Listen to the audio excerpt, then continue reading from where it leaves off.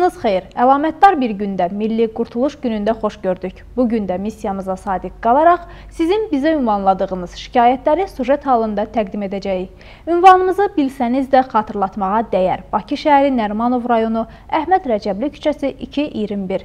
Bu ünvana göndərdiyiniz məktubda işıqlandırılmasını istədiyiniz şikayətin ətraflı şəkildə izahı ilə yanaşı şəxsi məlumatlarınızı da qeyd etməlisiniz yəni ad, soyadınız, şəxsiyyət vəsiqənizin nömrəsi və ən əsası əlaqə nömrəniz göstərilməlidir. Bundan başqa qaynar xəttimiz olan 055 510 02 02 də xidmətinizdədir. Amma bu nömrə zənglər üçün yox, məhz WhatsApp vasitəsilə ünvanlanan şikayətlər üçün nəzərdə tutulub. Beləliklə başlayırıq. Əvvəlcə bu gün izləyəcəyiniz sujetlərlə qısaca tanış olaq. Xızının Şorabad qəsəbəsinin problemləri. Beyləqan sakinlərinin istəyi nədir? Qusarlıları dilə gətirən stadion arzusu. Xızı rayonu Şorabad qəsəbəsinin sakinləri bizə yaşadıkları ərazidə olan bir neçə problemlə bağlı müraciət ünvanlamışdılar. Həmin müraciətin əsasında müxbirimiz İlkin Abbas deyilən ünvana yola düşdü. Şorabadda nələr gördü, nələr eşitdi, növbəti sujetdə biləcəksiniz. Xəzərin sahilində yerləşən bu kəndin elə Xəzər boyda problemləri var. Söhbət Xızı rayonu Şorabad kəndindən gedir. Bəli, problemlərin məngənəsində batan Şorabaddan. Vay o günə ki, kiminsə yolu bu kəndə düşə. Bu kənddə olan problemlərdən az qalır saç ağarsın. Problem verilişi olaraq bu kəndin sakinlərini dinləmək qərarına gəlib sözgedən ünvana yollandıq. Havanın isti olmasına baxmayaraq kəndin müxtəlif yerlərindən sakinlər başımıza yığıldılar. Bizi görən ürəyi dolu kənd sakinləri fürsətdən istifadə edib bir-bir qarşılaşdıqları problemləri dilə gətirdilər ki, bəlkə vəziyyətlərini görüb onlara da bir gün ağlayan ola. Günəş istisindən qabaran kənd yollarında irəlilədikcə agah olduq ki, bu kəndin problemləri saymaqla qurtaran deyil. Hansından deyim, keçilməz yollardan, kənd cəmaatının yuxusunu ərşə çəkən sahibsiz itlərdən, yoxsa ərazidə hökm sürən zibil poligonundan. Əlqərəz, başlayaq yol problemindən. Dəhşətdir kəndin yolu. Biabırsı vəziyyətdədir kəndin yolu. Palçıq, palçıq, palçıq, zımırıq. Zımırıq. Zımırıq, bax dizəcən. Ona Allah var, uşağı hər gün gəlin döyür ki, sən niyə bu üstüblaşdırmısan? Yazıq neynəsin qardaş? Palçıq. Uşaq gəlir evə, palçıq içində. Mən bu kənddə 65 yaşım var, 65 il bu kənddə yaşamışam.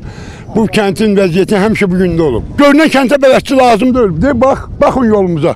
Görün nə gündədir. İndi hələ bir balaca sağ olsun ki, uşaqlar bir qrabilzat getirib gəlib verirlər. Kənd sakinləri deyir ki, bu kəndə sonuncu dəfə yol 1965-ci ildə çəkilib. Küçələrdən gündəlik istifadə edən sürücülər illərdir hökm sürən yolsuzluqdan lap bezara gəliblər. Özünüz görürsünüz nə gündədir. Maşın dağılıb gedir, insanlar yağış yağanda lap çox palçıq olur.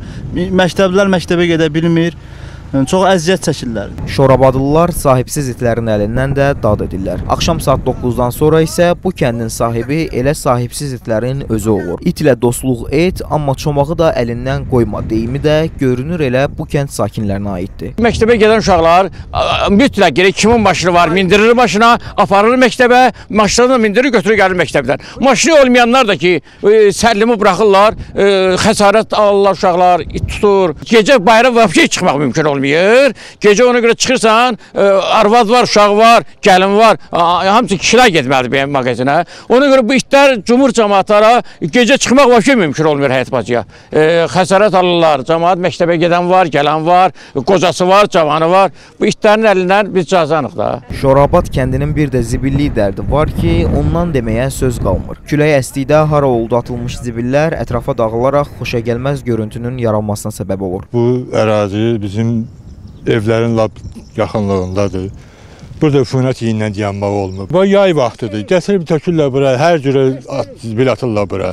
Üfunətdən dayanmaq olmur. Şorabad kəndinin bitib tükənməyən problemləri ilə bağlı elə kənd üzrə cavabdeh qurum Şorabad qəsəbə icra nümayəndəliyinə yaxınlaşdıq. İllərdir kənddə olacağa çarə tapa bilməyən bu qurum nədənsə çəkiliş qrupumuzu görən kimi bütün problemlərin həllinə söz verdi. Biz gündəlik küçələrin təmizlənməsi ilə məşğul oluruq deməli yığırıq, poligonlar var, aparıb boşaldırıq ora. Sahəsiz itləri mən sizə dedim ki, o əlaqədar təşkilatlarla əlaqə yaradıb, onları görüb tutub o məntəqələrə aparıb təhvil vermir. Ümumi bu problemləri aradan qaldırması üçün yaxın zamanlarda düşünürük ki, bunları yaxın zamanda aradan qaldıracağıq. Asfalt üzünə həsrət qalan kəndin yol probleminə gəlincə, Şorabad qəsəbə bələdiyyəsi sədri sakinlərdən biraz da möhlət istədi. 2 ay müddətinə bizi gözləsinlər, çünki pullar bizə köçürülsün. Köçürüləndən sonra yolu demək mərkəzi yol məktəbə, bir də ki kəndin axırına o yolları asfalt eləyəcək inşallah. Yəni problemləri aradan qaldırmaq üçün mən söz verirəm ki, pul köçürülən kimi yollar düzəlinəcək. Ümidə hər yerdən üzülən Şorabadlılara yenə də ümid verildi. Sakinlərə problemlərin həlli ilə bağlı vədlər də verildi. İnanaq ki, bütün bu verilən vədlər qısa zamanda reallığa çevriləcək. Şorabad kəndinin sakinləri də nə vaxtsa problemlərdən qurtulub gün işığına çıxacaqlar. Deyilən vədin tezliklə yerinə yetəcəyinə ümid edirik. Qusar rayonu Qədizəyxurlu kəndinin sakinlərinə də vədlər verilib. Belə ki, həmin kəndin gəncləri futbol oynamaq istəsələr də bu arzuları gözlərində qalıb. Çünki stadion üçün ayrılmış yerdə heç bir uyğun şərait yoxdur. Bölgə müxbirimiz Rauf Əhmədov kənd sakinlərinin müraciətini işıqlandırıb.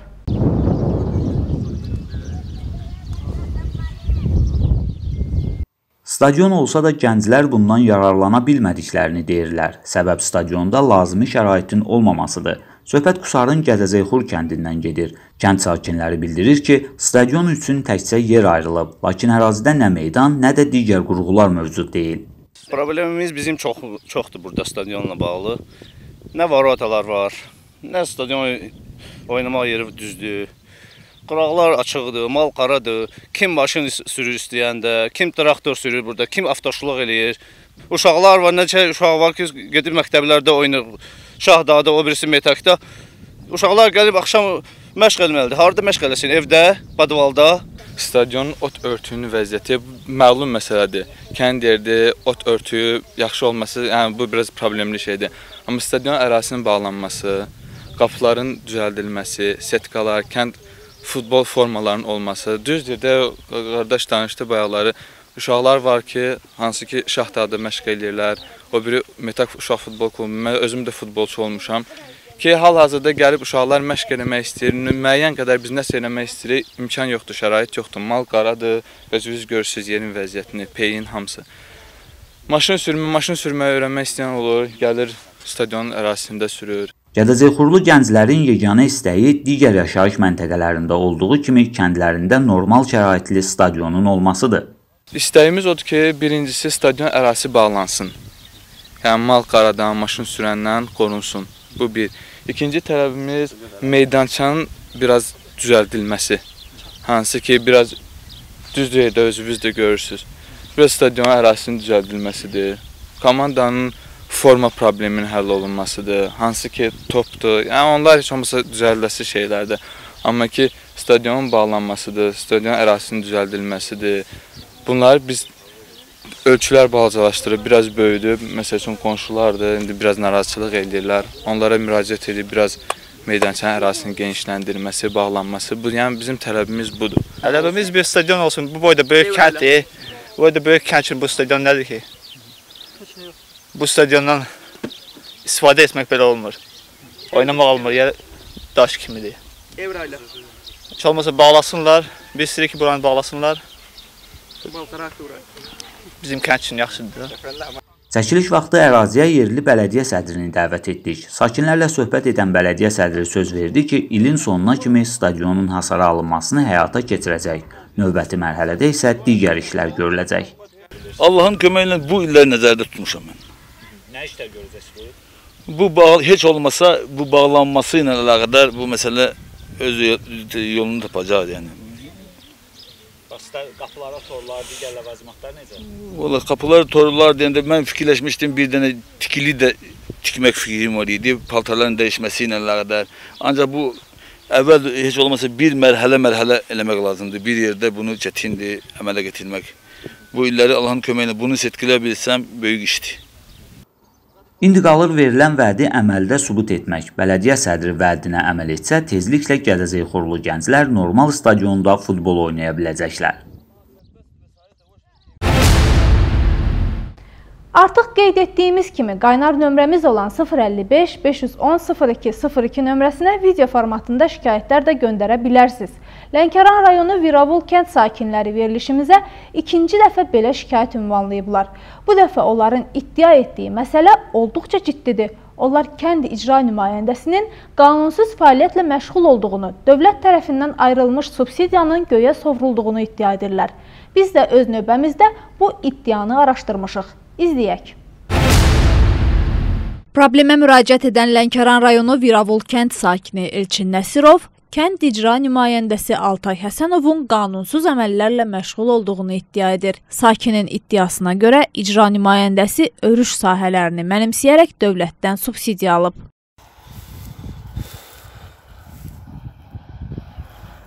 Bax gördüyünüz kimi bu Sahələr 23 hektar kəndimizin icra nümayəndəsi Altay Həsənov buğda əkib. Dövləti bunlar gör necə aldatmaqla məşğuldurlar. Deməli 23 hektar buğda əkiblər. Dövlətdən subsidiya alandan sonra bu buğdanı hal-hazırda ot kimi biçib satırlar. Görün bunlar dövləti necə talamaqla, aldatmaqla məşğuldurlar. Bax gördüyünüz kimi də traktor da hal-hazırda işləyir buğdanı ot kimi biçir. Məsələyə aydınlıq gətirmək üçün əvvəlcə adı çəkilən Viravul kənd icra nümayəndəsi Altay Həsənovla əlaqə saxladıq. Altay müəllim iddiaların yalan olduğunu deyərək adında heç bir torpaq sahəsinin olmadığını, ümumiyyətlə əkin-biçin işlərindən uzaq olduğunu bildirdi. Bundan sonra Kənd Təsərrüfatı Nazirliyi ilə məsələni araşdırmaq qərarına gəldik. Nazirliyin İctimaiyyətlə əlaqələr və informasiya təminatı şöbəsinin müdiri Vüqar Hüseynov izlədiyiniz video görüntülərə aydınlıq gətirdi. Lənkəran Dövlət Aqrar İnkişaf Mərkəzi tərəfindən e, aparılan araşdırmaya görə həmin görüntülərdə görünən sahə dövlət fond torpağının sahələri olubdur. Həmin sahələr 4 il bundan qabaq rəsmi müqavilə əsasında Viravul kənd sakinləri Şakir və Elman Həsənovlara icarəyə verilibdir. İcarə müqavilələri qanunvericiliyə uyğun olaraq notarial qaydada təsdiqlənib və elektron kənd təsərrüfatı informasiya sisteminə daxil edilib və bunun əsasında 15 hektar sahə Elman Həsənovun adına 8 hektar, Şakir Həsənovun adına isə 7 hektar sahədə əkin aparılıb və buna görə də müvafiq qanunvericiliyə uyğun olaraq subsidiya ödənilibdir. Sahənin subsidiya alındıqdan sonra buğda sahəsinin biçilməsinə gəldikdə isə mən şəxsən özüm e, Şakir Həsənovla əlaqə saxladım. Şakir Həsənov bildirdi ki, onun oğlu e, Qarabağ müharibəsində şəhid olubdur və oğlu şəhid olduqdan sonra e, özünün dediyinə görə 4 aya yaxın faktiki olaraq e, kənd təsərrüfatı fəaliyyətindən məşğul ola bilməyibdir və eyni zamanda da aprel ayının sonlarından e, başlayaraq may ayının sonlarına qədər təxminən bir ay müddət ərzində həmin ərazidə 3 dəfə güclü leysan olub və bu səbəbdən baxımsızlıq səbəbindən həmin sahələrdə çoxlu o tələf bitibdir. Və Şəkir Həsənovun bildirdiyinə görə həmin e, əraziyə kombayn gətirəndə artıq kombaynı salmaq üçün heç bir imkan olmadığına görə məcbur olaraq 7 hektarlıq sahənin 3 hektarını ot kimi biçibdir. Bununla bağlı Lənkəran Dövlət Aqrar İnkişaf Mərkəzinin bitkilik sektoru tərəfindən müvafiq araşdırma aparılıbdır və vətəndaşdan izah alınıbdır və qanunvericiliyə uyğun da müvafiq tədbir görüləcək. Ümid edirik bu cavabdan sonra kənd sakinlərinin narahatlığına son qoyular. Beyləqan rayonu Mil qəsəbəsinin sakinlərinin isə içməli su ilə bağlı problemi var. Yayın isti günlərində problem daha da aktuallaşıb. Sakinlərin şikayətini və həmin şikayətin cavabı növbəti sujetimizdə. Beyləqan rayonu Mil qəsəbəsinin sakinləri içməli su sarıdan çətinlik çəkdiklərini bildirirlər. Bu məsələ ilə bağlı verilişimizə şikayət edən sakinlər deyir ki, kənddən 2 kilometr məsafədə 2 artezyan qoyulsa da onlar o artezyanlardan istifadə edə bilmirlər. Səbəb isə həm yollarının uzaq olması, həm də artizyanların işlək olmamasıdır. Mil qəsəbəsinin sakinləri qarşılaşdıqları problemlə bağlı müvafiq qurumlara müraciət ediblər. Amma təəssüf ki, onlara bu məsələ ilə bağlı köməklik göstərən olmayıb. Hazırda içməli suyu rayondan aldıqlarını bildirən sakinlər buna görə 20-30 manat ödəməyə məcburdular. Bizim ərazidə 2 dənə 2 kilometr məsafədə artizan vurulub. Sudan İndiki hal-hazırda o sudan istifadə etmirik, edə bilmirik və söz verilir ki, çən qoyulacaq. çən qoyulandan sonra xəttlər çəkiləcək hər bir toçkalara paylanacaq. Hal-hazırda satın alırıq, yəni gətirirlər, satırlar. Tonnajla da alırıq lazım olanda, az-az alırıq. Müəyyən yəni qiymətlərlə su ilə bizi təmin edirlər. Neçə müddətdir ki, susuzluqdan əziyyət çəkirik və yaşlı nəslin dediyinə görə də artıq 50 50-ci illərdən bu kəndə su çəkilmir. Dəfələrlə də aidiyyəti qurumlara müraciət eləmişik. Müraciətimizə məhəl qoyan yoxdur. Hal-hazırda vəziyyət belə davam edir. Yol məsafəni gördünüz kəndlə bizim bu artizanın məsafəsini. Bu artizan vurulub su istifadə eləyə bilmirik. Bu su hara tökülür onu da bilmirik. Ki artizan vurulub kənddə su içənmirik biz. Qunut sular içirik. Kanaldan gedən böyük kanallardan gedən sulardan içirik. Qunut suları. Biz su bilmirik hara gedir, nədir, nədir. Bu artizan vurulub kənd üstündə niyə istifadə eləyə bilmirik biz onu bilmirik. Beyləqan rayonu Mil qəsəbəsinin sakinlərinin susuzluq probleminə Mil qəsəbə bələdiyyəsinin sədri Rasim Mehdiyev aydınlıq gətirdi. Bizim qəsəbədə iki artizan vurulmuşdur. Onun biri suvarma sistemləri üçün, biri isə içməli su üçün. Hal-hazırda suvarma sistemlərindən vurulan əhalinin istifadəsindədir. İçməli su ilə olan isə hələ ki ilin yekununa kimi aidiyyəti orqanların dediklərinə görə kəndin cəmaatının istifadəsinə veriləcəkdir. Odur ki, dəyərli Mil qəsəbəsinin sakinləri, təəssüf ki, sizə hələ bir müddət ümid etmək qalır ki, verilən bütün vədlər icra edilərək tezliklə öz təsdiqini tapacaq. Bugünlük bizdən bu qədər. Siz isə işıqlandırılmasını istədiyiniz problemləri poçt ünvanımıza göndərməkdə davam edə bilərsiniz. Hələlik.